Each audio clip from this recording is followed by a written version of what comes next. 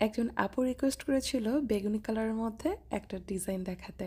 তো আমি বেগুনি কালার এই ড্রেসটার মধ্যে কাঠগোলাপ আঁকছি, তো সেটা শেয়ার করছি। আর কাঠগোলাপ কিন্তু আঁকা খুবই সহজ জাস্ট পাঁচটা এভাবে করে পাপড়ি দিলেই হয়ে যায়। আর সাইড থেকে কিন্তু আবার একটা সেকেন্ড লেয়ার দিবেন, তাহলে আর কি একদম যে অরিজিনাল কাঠগোলাপের যে একটা ভাইব ওইটা থাকে।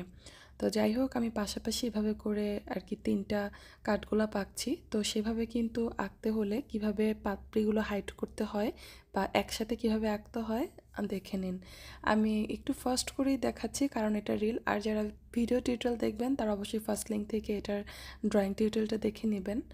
আর এখানে আমি কিছু বড় বড় পাতা এঁকে নিচ্ছি। কাঠগোলাপ কিন্তু ড্রয়িংটা মানে অত বেশি কঠিন না। আর যদি আপনি পেইন্ট করেন, তাহলে তো খুবই সহজ তাড়াতাড়ি রং দিয়ে পেইন্ট করতে পারবেন, চাইলে সেলাইও করতে পারেন।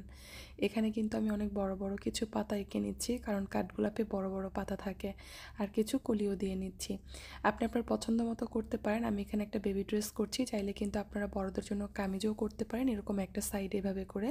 আবার চাইলে পাঞ্জাবিও করতে পারেন, এভাবে একটা সাইডে পাঞ্জাবির ডিজাইন করতে পারেন। যে কোনো ডিজাইনই আপনি আপনার মতো করে কিন্তু মডিফাই করে নিতে পারেন। তো ডিজাইনটা কেমন লাগল কমেন্ট করে ফেলুন।